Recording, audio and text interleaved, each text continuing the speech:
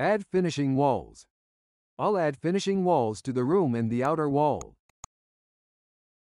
Wall. Select a wall type and draw by rectangle. Openings are not formed. Check in 3D view. In this case, if you join it, the wall will be cut to fit the window. I used to do this in the old version of Levit.